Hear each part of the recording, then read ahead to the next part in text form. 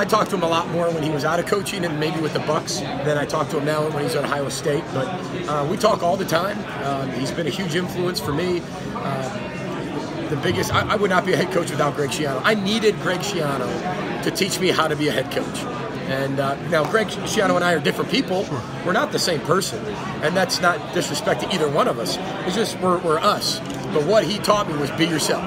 Uh, Greg Schiano, uh, whether people like him, don't like him, love him, uh, is he's himself. He's exactly who he is every single day.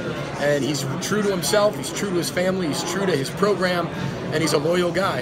And um, you can't ask for much more when you're talking about people these days he's the biggest influence I've ever had. What will it be like for you to coach against him this year? well, not very easy, uh, but it'll it'll be a lot of fun. So I mean, at least getting to talk to him before the game and after the game. But his defenses are always tough. They're just like him.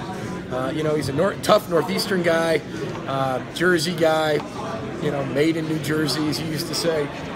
He's just a tough, tough guy. And tough defenses, they're going to confuse you. You you won't see. You're going to see a lot of difference from week to week. You'll always have blitzes of the week. He's always going to have new looks of the week, and he will come after you. And whether it's just with four or three, he still comes after you, and then he's got his blitz package.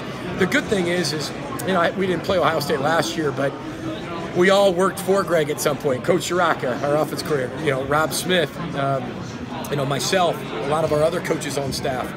So when you have that, you kind of know his personality and tendencies, so that helps a little bit. But they got incredible players and they've got incredible schemes. It's going to be tough.